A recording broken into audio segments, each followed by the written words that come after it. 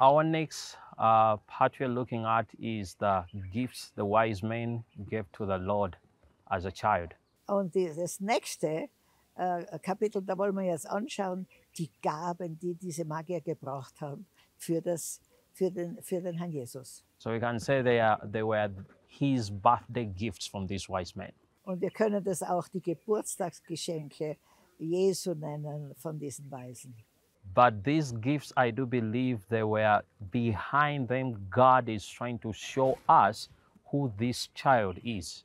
Und diese Gaben sind eigentlich nur für uns, damit wir erkennen, schon von den Geschenken her, wer dieses Kind ist. So the first gift they gave was gold. Und das Erste, was sie gegeben haben, war Gold. We all know that gold is a precious metal. Und wir wissen, dass Gold ein sehr wertvolles Metall ist. It is valuable, it is durable, and expensive. Es ist äh, sehr wertvoll, es, ist, es kann nicht verderben und es ist sehr teuer. And I, I do think that this gift was also given in a way because God already knew that as soon exile was coming from Herod, that they had to flee to, to Egypt. Und ich persönlich glaube, dass Gott bereits die Flucht nach Ägypten vorbereitet hat mit diesen Gaben. So I do believe Joseph used this gold as a financial means to sustain him and the family. Und ich glaube, dass Josef diese Geschenke dann äh, im Laufe ihrer Reise nach Ägypten verwendet hat, um die Familie zu erhalten. So I, I do believe that the gift of gold, uh, it is pointing first of all to Christ as being divine. Und diese Geschenke zeigen uns auf- in erster Linie, ja, dass Jesus göttlich ist. Yeah, because if we look at what the Old Testament teaches about gold, gold was used in the temple of God. Und äh, Gold, wenn man im Alten Testament schaut, wird immer im Tempel verwendet. And it was mainly used for the most holy vessels in the temple of God. Und äh, es wurde in, im Tempel verwendet für die allerheiligsten Gefäße. Even the Holy of Holies was all decorated with gold. Sogar das Allerheiligste war mit Gold ausgelegt. So we see here gold is pointing to the divinity of Christ. Und so sehen wir, dass das Gold bereits die Göttlichkeit Jesu anspricht. But also we see that gold is also a symbol of, uh, of him being a king. Und dieses Gold war auch ein Symbol, dass Jesus als König geboren wurde. In fact, in Matthew chapter 2, verse 2, where we read earlier, it says that, Where is he who has been born king of the Jews? Und in Matthäus 2,2 heißen wir, wo ist der König der Juden, der geboren worden ist, schon als König? So they came looking for the king. So haben sie jetzt den König gesucht. So Jesus is, is really amazing that in all human history, he is the only single person who was born as a king. In der ganzen Geschichte der Menschheit gibt es niemanden, der schon als König geboren wird. Jesus war der einzige und erste, der als König geboren wurde. All men become kings. Alle Menschen werden später Könige. Die, äh, They are princes who become kings. das sind zuerst Prinzen und dann werden sie Könige. Jesus was born a king because he is the king. Jesus wurde schon als König geboren, denn er ist der König. He didn't become a king. He is the king, has always been a king, and will be the king. He's the king of the ages. Äh, er, er, wurde, äh, er wurde als Kind schon als König geboren, denn er ist der König aller Zeiten. In fact, when you read the Old Testament prophecies, uh, they speak about the Messianic kingdom as the kingdom which shall never end. Und wenn man im Alten Testament nachliest über das Reich Gottes, dann lesen wir über das Königreich, das nie enden wird. So the second gift Christ was given is frankincense. Und das Zweite, was Jesus bekommen hat, war Myrrhe, äh, Weihrauch. So frankincense was a white resin which looks like a gum from some of the trees in Arabia. Und äh, Weihrauch schaut so aus, als wäre es irgendein Harz von Bäumen aus Arabien. Uh, it was highly fragrant when it is burnt, and we see that it was used as an ingredient in the special incense which was offered to God in the temple. Und äh, Weihrauch wurde verwendet für eben den Weihrauch, um im Tempel Gott zu ehren. Uh, we see in Exodus chapter 30, uh, that is second Moses. Und äh, wir sehen im 2. Mose 30, Uh, maybe we will not read there, but if you read the passage from around verse 34 to, to 37, it explains uh, more in details about this special incense to God. Und der Herr sprach zu Mose: Nimm dir wohlriechende Stoffe, Stack der Tropfen, Räucherklaue, wohlriechendes Galbanum und reinen Weihrauch, zu gleichen Teilen soll es sein, und mache Räucherwerk daraus, eine würzige Mischung, ein Werk des Salbenmischers, gesalzen, rein, heilig. Dann zerstoße etwas davon zu Pulver und lege etwas davon vor das Zeugnis in das Zelt der Begegnung wo ich dir begegnen werde, als Hochheiliges soll es euch gelten. Was aber das Räucherwerk, das du machen sollst, angeht, in seiner Zusammensetzung dürft ihr keins für euch herstellen. Als, äh, als etwas Heiliges für den Herrn soll es dir gelten. Et, wer etwas derartiges macht, um daran zu riechen, der soll aus seinen Völkern ausgerottet werden. Hui. So you see that this special incense was only dedicated to God. So sehen wir, dass dieses, dieser besondere Weihrauch nur Gott geweiht wurde. And we see that there was even a consequence that if it was found with someone else, they should be put to death. Und wir sehen, dass wenn jemand das für sich selbst in Anspruch nimmt, We see that this incense was only dedicated as an offering to God. und wir sehen, dass dieses Weihrauch äh, nur dazu verwendet werden durfte, um Gott zu, zu ehren. We see that even when someone was found using this incense for other purposes, God says they should be put to death. Und wir sehen im Wort Gottes hier im, im 2. Mose 30, äh, 31 und 32, dass wenn jemand diesen Weihrauch, diese Zusammensetzung für sich selbst verwendet, dann soll er getötet werden. So uh, uh, we see that this gift of frankincense first points to Christ's being divine.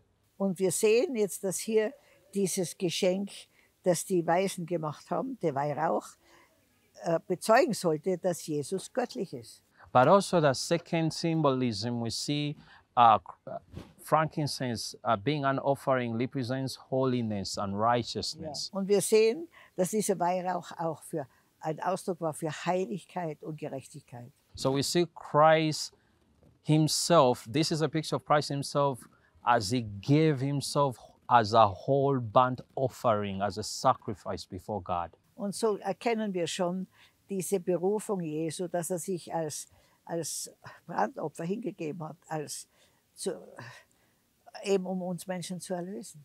So the third gift is ma. So, und das dritte, Geschäft ist, äh, das dritte Geschenk ist Myrrhe. So myrrh, as frank- frankincense, is also got from the trees in Arabia. Und Weihrauch und auch Myrrhe wird aus den Bäumen gewonnen. It was a special spice which was used in embalming dead bodies. Uh, das war ein besondere, ein besondere ja, äh, Sache, die verwendet wurde, um tote Menschen einzubalmasi- einzubalme- balmasieren. Ne? So we see that Christ, later in his life, actually at, the, at his death, uh, first of all, when Christ was offered myrrh, which was mixed to form strong drink, he rejected it at the cross. Ja. Also wir sehen am Kreuz, als Jesus, äh, als sie ihm äh, äh, Myrrhe angeboten haben, hat er es am Kreuz verweigert. Uh, when he was being crucified, this was intended to make him not feel well, like to feel all his senses. Oh, die Myrrhe wurde ihm gegeben, damit er wirklich sehr intensiv sich selber spürt. We see Christ rejected it. Aber Christus hat es abgelehnt. Because we know Christ needed to feel the full weight of the punishment of the sins of the world. Denn wir wissen, dass Jesus das, die gesamte Schuld der Welt auf sich nehmen musste. He was offering up himself, the whole of him, Und to er, God. hat, er hat sein ganzes Sein und Wesen Gott geweiht für uns. But I also believe Christ needed also his senses to be working well because later he ministered to one of the uh, the criminals were crucified on his side and he offered him the gift of salvation. Und wir sehen, dass Jesus schon am Kreuz seinen Dienst begonnen hat. Er hat nämlich dem anderen am Kreuz äh, schon äh, die Erlösung angeboten. So we see that uh, also that after Christ was dead, they wrapped him in my in the spices. Und wir sehen auch, dass als Jesus, äh, Jesus starb, Gott ist nie gestorben. Jesus, äh, durch unsere Sünde wurde er getötet. Äh, what did they say after he died? Uh, they, they, they wrapped him in Haben sie spices for burial. Ja. Yes. So Mass speaks of death. So, Mürresch äh, hat immer Verbindung mit Tod. Ma, it was a reminder that this child is born to die. Und dass diese weisen Männer diesem Baby Myrrhe gegeben haben, war eine, eine, bereits eine Voraussagung, dieses Kind muss sterben. But this is what thi- this is what is most amazing about the death of Christ. Aber das ist der größte, die, die größte Verwunderung über den Tod Jesu. All of us we come from one man Adam. Und alle von uns kommen von einem Mann, Adam. And the Bible says through Adam sin entered into the world and thus death spread to all men. Und die Bibel sagt, durch Adam ist die Sünde in die Welt gekommen, die Erbsünde. Und jeder, der auf dieser Welt geboren wurde, ist behaftet schon als Baby mit der Erbsünde. And God says that the wages of sin is death. Und äh, Gott sagt, dass der Lohn der Sünde Tod ist. But we see this Christ, Aber wir sehen diesen Christus, the only sinless one, der einzig Sündefreie. on whom death had no claim, no power, Und der Tod hatte keine Macht über ihn. but is born to die. Aber er wird sterben. This is the grace of God. Das ist die Gnade Gottes. And the grace of God is shown in the fact that Jesus Christ was born to die a death unique of itself. Und äh, äh, das Einmalige ist, dass Jesus Christus einen Tod gestorben ist, äh, den noch niemand vorher und auch nachher gestorben ist, dieser Art. Hebrews chapter 2, verse 9 uh, says, and we will read, I'll first read, it says, But we see Jesus, who was made a little lower than the angels, for the suffering of the death crowned with glory and honor, that he, by the grace of God, might test death for everyone. Ja, da steht in, in Hebräer 2,9, wir sehen aber Jesus, der ein wenig unter die Engel erniedrigt war, wegen des Todesleidens mit Herrlichkeit und Ehre gekrönt, damit er durch Gottes Gnade für jeden den Tod schmeckte. Amazing. Christ died to test death for every man. Und Christus ist gestorben, um für jeden von uns den Tod zu schmecken. This is how great the love of God is. Und so groß ist die Liebe Gottes. So we see that uh, symbolizes bitterness, suffering, and affliction. My- Myrrhe symbolisiert eben Sterben, Bitterkeit, Leiden. So this baby was born to suffer greatly and to pay the ultimate price for all our sins. So dieses Baby, Jesus wurde geboren, um für uns alle den Tod zu schmecken und das Leid. Uh, Mary, actually, Joseph was told when Angel Gabriel tells him in Matthew chapter 1, verse 21, he says to him that Mary will give birth to this child who will save his people from their sins. Ja, und äh, dem Josef wurde schon vorausgesagt, dass er Maria ein Kind gebären wird, das sterben wird für die Sünde der Menschheit. Christ was born to save us from our sins by shedding his blood because God says, without the shedding of blood, there is no forgiveness of sin. So, Jesus Christus ist für jeden von uns gestorben und hat sein Blut vergossen für diese Sünde und die darauf- darauffolgenden Sünden. Denn äh, die, die, die Bibel sagt, Sünde kann nur mit, mit Blut getilgt werden. Also in the Old Testament, God, God there says that uh, blood is the one which makes atonement for the soul. Ja. Und im Alten Testament heißt es, dass eben Blut nur das Lösegeld sein kann für die, für die Sünde der Seele. Uh, Genesis chapter 3, verse 15, uh, the old theologians calls it protoevangelion. Und ich werde Feindschaft setzen zwischen dir und der Frau, zwischen deinem Samen und ihrem Samen. Und er wird dir den Kopf zermalmen und du, du wirst ihm die Ferse zermalmen. Zu der Frau sprach er, ich werde sehr vermehren die Mühsal deiner Schwangerschaft. Mit Schmerzen sollst du Kinder gebären. Yeah, uh, they called it protevangelion because this is the first preaching of the gospel in the Bible. So, das ist eigentlich schon das erste Mal, dass das Evangelium verkündigt wurde. This seed of the woman was born to crush the serpent, the serpent is head. Und dieser Same dieser Jungfrau Maria wurde geboren, um den Kopf äh, Satans zu zermalmen. But it didn't come without a price.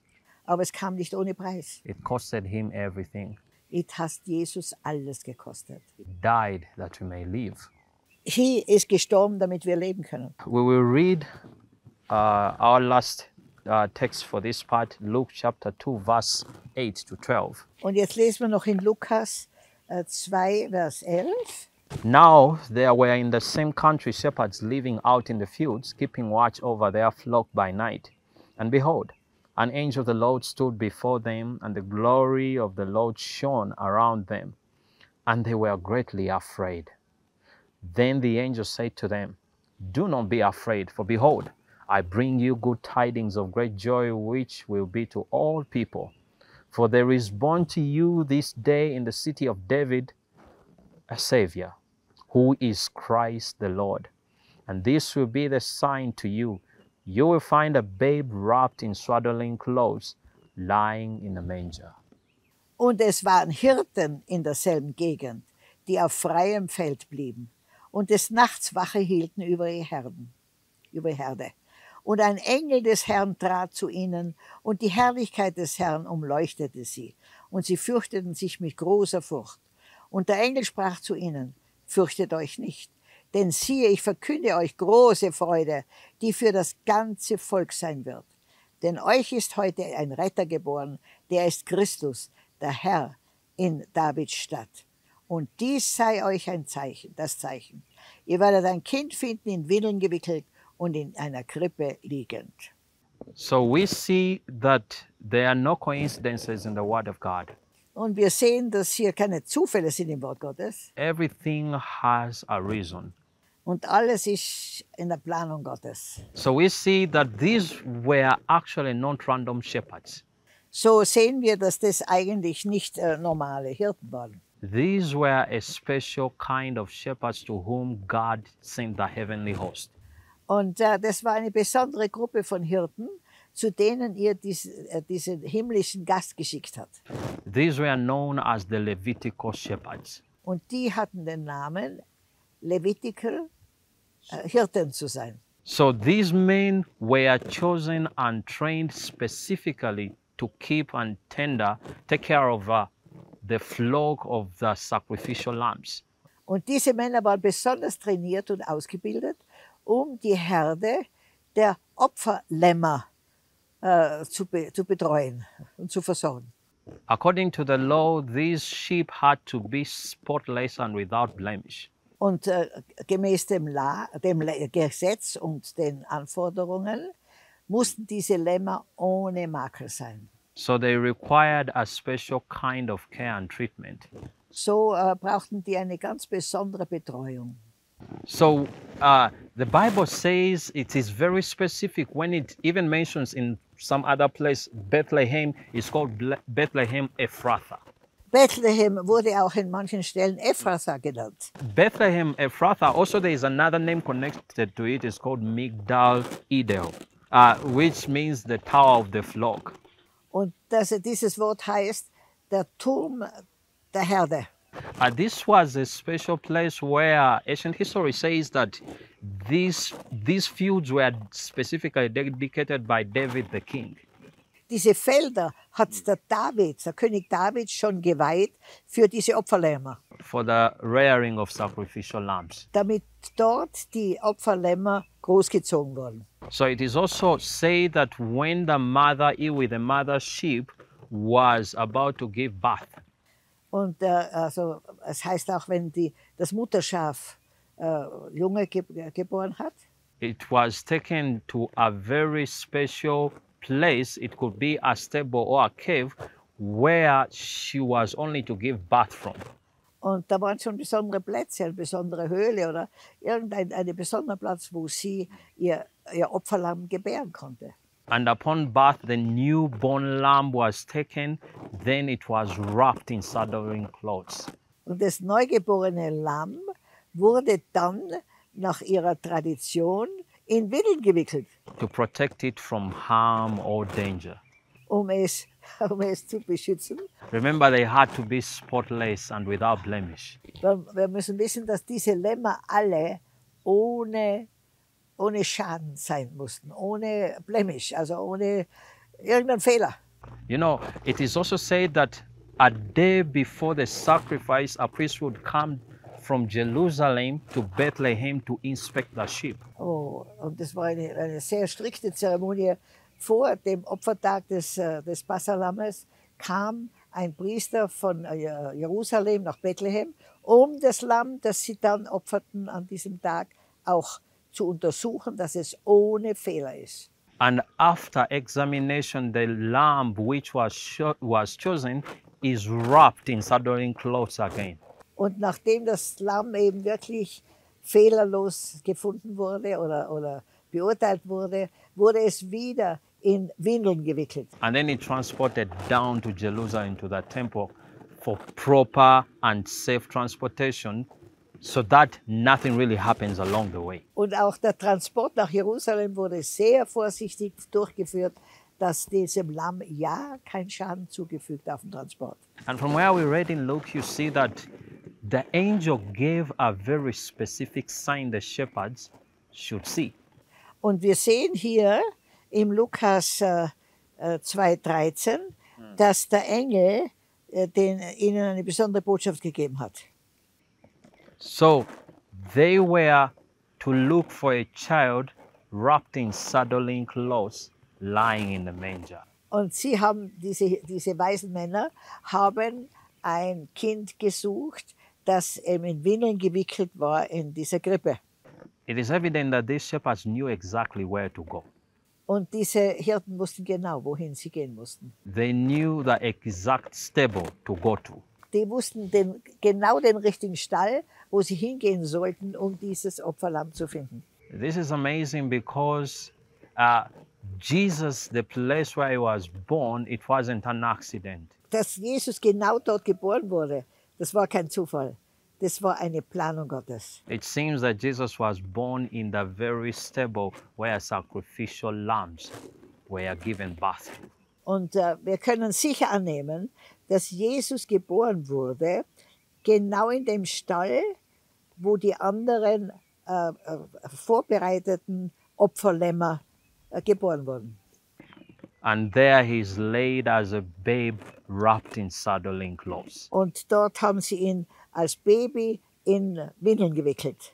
There are no coincidences to God, Ja, ich sag's euch, das ist reine Führung most Gottes. especially in his word. In seinem Wort gibt es keine Zufälle. we see that God was in absolute control in all the narrative, in all the, He was behind with the birth of Christ. For us humans, we might look at it as an unfortunate turn of events, Für uns kann diese Geburt also wirklich wie ein er ja, wie eine Schande ausschauen. Ja? Die wollten ja gebären in einer Herberge und nirgends war Platz. You know, they wanted to give birth in a, in a ho- hotel or something. No space. So die, die mussten hinaus auf diese Wiese. Denn das war der Ort, wo die Passalämmer oder die, die, äh, ja, die, die Opferlämmer geboren wurden. Genau in dem Stall wurde auch Jesus geboren. but Jesus was born in the exact place where God the Father planned for him to be born. Ja, Jesus wurde genau an dem Ort geboren, wo der himmlische Vater schon den Plan dafür hatte. So now we understand that the swaddling clothes are pointing to Jesus, as John says, Behold the Lamb of God who takes away the sin of the world. Ja. Und äh, uh, Johannes sagt, schaut an das Lamm Gottes, das die Sünde der Welt hin- wegnimmt. Das ist das Baby in Windeln gewickelt. The Apostle Paul, somewhere in 1 Corinthians chapter 5, he says, Christ, our Passover lamb, has been sacrificed for us. Und im 1. Korinther 5 sagt Paulus, Irgendwo spricht er vom, wo ist das? Uh, Five, verse 7. Vers 7, ja. Äh, Da heißt es, denn auch unser Passalam Christus ist geschlachtet. So Christ is our Passover lamb who was sacrificed. So Jesus ist das Passalam, das Opferlamm, das für uns geschlachtet wurde. So we see that the story of Christmas, the message of Christmas is above the cross. Und wir sehen, dass Weihnachten ist die Geschichte vom Kreuz Jesu. It's about our sins, Es geht um unsere Sünde. the solution to our sin problem. Und zwar die Lösung äh, unser, unseres Sündenproblems. It is about Jesus who was born once that we may be born again. Ah, Und es ist Jesus, der geboren wurde, damit wir auch wiedergeboren werden können. Amen. Amen.